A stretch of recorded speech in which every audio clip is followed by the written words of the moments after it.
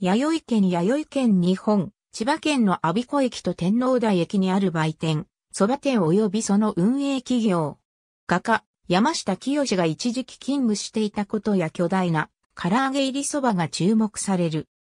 阿鼻子弥生県日本千葉県の新津田沼駅などにあった蕎麦店。一ののれん分け。2019年閉業。本校では一を優先し、別企業であることを明示した上でにも併記する。阿鼻子駅快速下り線ホームにある、弥生県売店弥生県は、千葉県阿鼻子市にある、立ち食い蕎麦店及びその運営企業である。急行列車は、サービス面や車両形式の関係もあり、一般に、駅弁の需要が高かった創業は1928年4月で、当時は、阿鼻子駅で駅弁を扱っていた。駅弁や時代の1942年から5年間、山下清が勤務したことがある。山下が著名になった後、本人に連絡を取って、駅弁の掛け紙用に絵を描いてもらった。絵は、四季の4種類の予定だったが、最後の冬を描く前に、山下は他界した。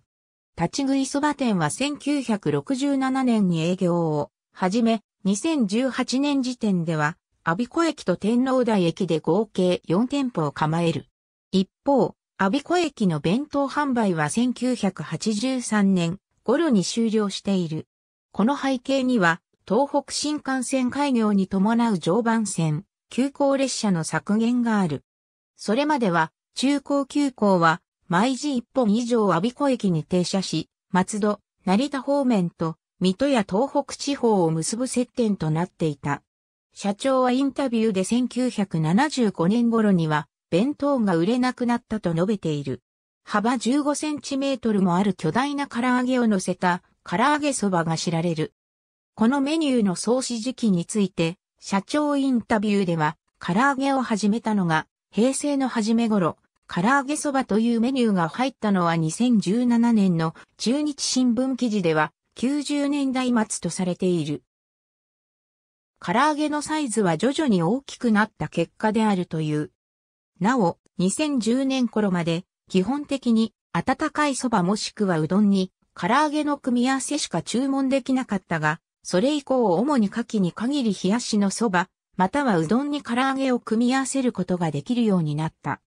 阿鼻子屋良い県とは、千葉県松戸市の新京成電鉄五港駅前や奈良市の津田沼の新津田沼駅ホームにあった蕎麦店で、ある。阿鼻子市の弥生県ののれん分けであった。本家と同様に唐揚げ入りそばが特徴的なメニューであった。五港駅店は2016年2月開店、2017年7月閉店。新津田沼駅店は2016年9月開店、2019年8月閉店。ありがとうございます。